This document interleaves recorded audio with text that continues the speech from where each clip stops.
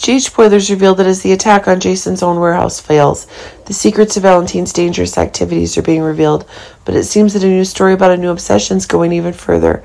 Valentin is facing new accusations of one of the dangers that are being obtained in his dangerous journey.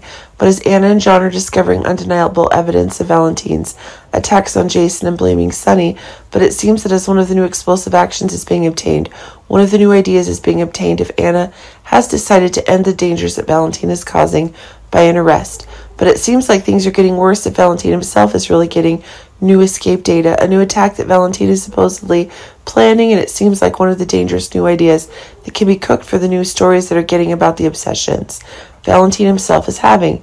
But it seems that the new variable if Brennan himself can get out of the hospital.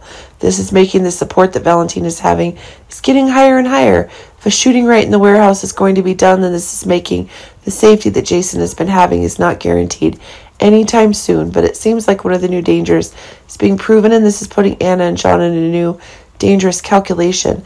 But it seemed that with Anna and John caught up in the stress Finn was having over the drunken accident Finn was having, this was proving to be a new medical disaster. Brennan was taking advantage of this opportunity to attack Sonny, and if both of their important people were in great danger, this was putting Anna in danger.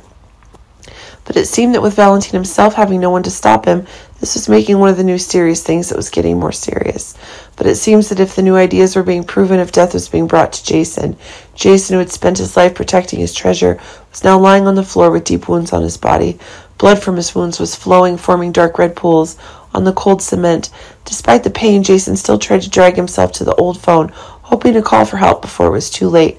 But it seems as if one of the hauntings in the story was going further if the story itself exploded that Liz was actually trapped in her two men. But it seemed as if the story was making the very deaths that Valentin was bringing about were being proven more and more. One of the new changes was being made, and this was proving that the very hauntings that Valentin was having were being made, and this was making one of the new dangers that were coming to Port Charles was becoming more and more.